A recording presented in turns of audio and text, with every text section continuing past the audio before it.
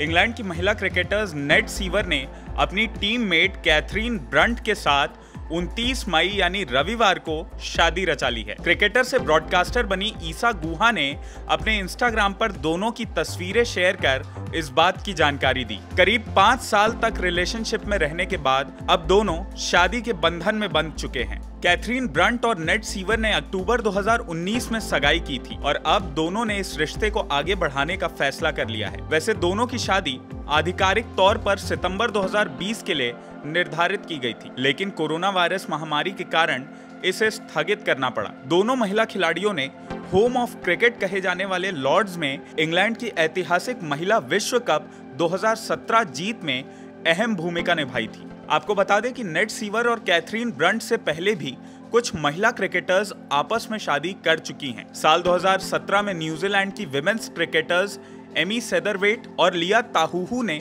शादी कर ली थी फिर जुलाई 2018 में अफ्रीका की डेन वॉन निकर्क और fast bowling allrounder Marizanne Kapp ने शादी की थी 2019 में न्यूजीलैंड की हेले जेनसन और ऑस्ट्रेलियाई निकोला हैनकॉक समलैंगिक विवाह बंधन में बंध गई थी। कैथरीन ब्रंट और नेट सीवर ने इस साल की शुरुआत में न्यूजीलैंड में आयोजित आईसीसी महिला विश्व कप 2022 में इंग्लैंड का रिप्रेजेंटेशन किया था। उस वर्ल्ड कप में इंग्लिश टीम ने पहले तीन गेम गवा दिए थे, लेकिन बाद में लगातार जीत दर्ज कर उसने फाइनल में जगह बनाई थी। हालाँकि फाइनल में इंग्लैंड को मैग लैनिंग की अगुवाई वाली ऑस्ट्रेलियाई टीम से हार का सामना करना पड़ा था। इंग्लैंड टीम का ध्यान अब अगले साल होने वाले आईसीसी महिला टी ट्वेंटी विश्व कप पर होगा, जो साउथ अफ्रीका में खेला जाना है।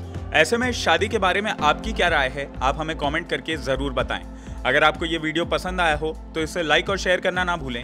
और आईबीसी 24 के यूट्यूब चैनल खबर विभाग को ज़रूर सब्सक्राइब करें। नमस्कार।